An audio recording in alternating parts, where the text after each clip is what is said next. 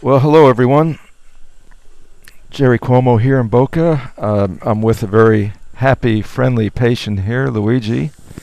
Uh, he's getting his new bone level uh, single tooth crown today, and as you noticed from the last video series, that our temporary was out a little bit. I did recontour it somewhat near the soft tissue area, so we're going to take this off now and take a look at that tissue and see exactly how that looks.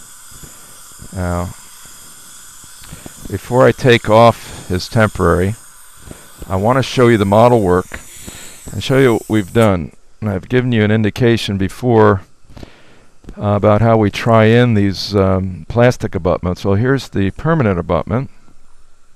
If you notice, the uh, tissue contour is intact all the way around on the solid model, so we're able to drop the margins of this prefabricated, off-the-shelf, purchased uh, Straumann uh, solid uh, cementable abutment that's angled, and they're angled at 15 degrees, so that lined us up perfectly in the central groove area. We also kept in mind our our flat contacts. We wanted to make sure that we were parallel enough and we wanted the lingual margin to be above the tissue level.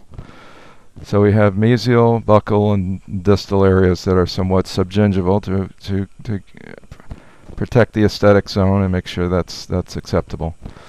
All right, and, um, and before I um, cement this, I noticed that I'd like to uh, go ahead and sandblast the surface of this. So I'm going to go ahead and pause now and do that and come back with the next segment and we'll go ahead and get this in the mouth. All right.